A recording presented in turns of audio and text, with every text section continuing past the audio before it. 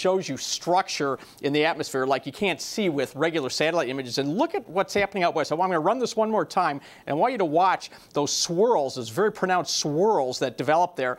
What we have are a couple of very potent upper level storm systems developing. And what's going to happen is this first one right here is going to kind of weaken and kind of move to the east northeast.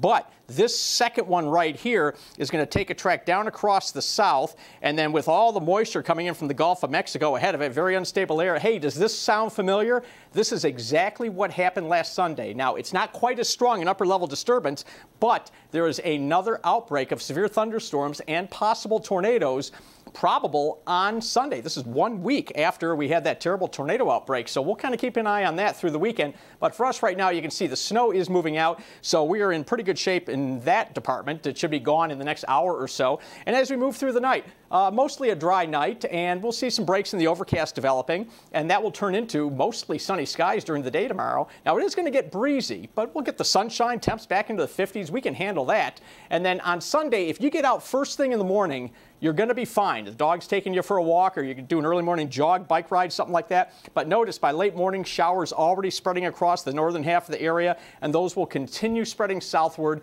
through the afternoon. You folks in the south zone will be the last to get those showers on Sunday. All right, so 30 degrees overnight low, upper 20s in rural areas. And then as we move through tomorrow, increasing sunshine and 54 degrees for the high with a breezy afternoon under that southwest wind, 10 to 20 miles per hour.